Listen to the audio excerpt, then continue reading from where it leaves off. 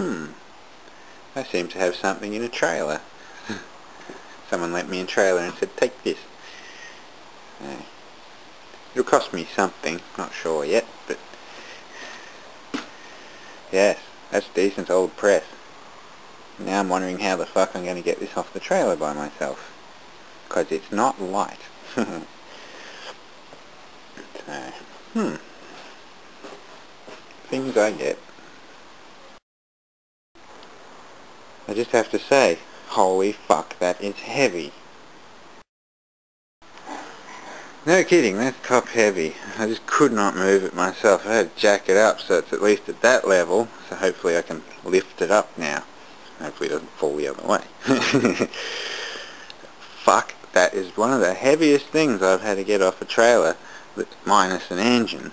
But, they were easy, just grab the crane.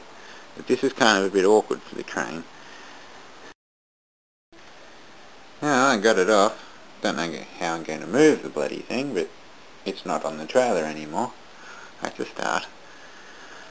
But, um, yeah, quite interesting. Well, here's all the controls of this antique thing. There's your release valve. And release the pressure. That's where a gauge should be, so I can get a gauge to put on. That's your pump handle. Screws in there. Um, and this seems to be where the reservoir should go. It looks like a container sits under here full of oil. And there are the pickups for the oil. You pump it. And it pumps oil in and off it goes. So I have to make up a little container and get some hydraulic oil. And then prime it all and see how much that leaks. it's been sitting around so long I'd assume it needs seals, but we'll see what happens. That's a bloody decent hydraulic ram. A decent head on it, all fully adjustable. So,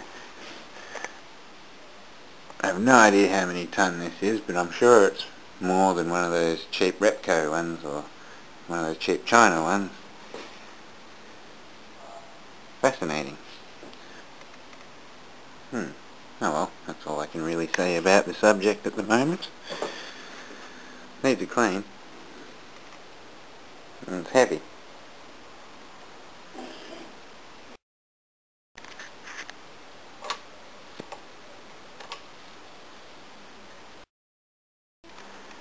suppose I could also put a gauge up here. Hmm.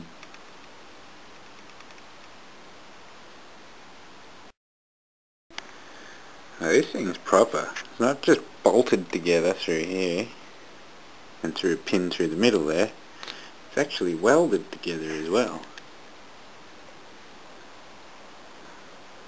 Back when they made things proper.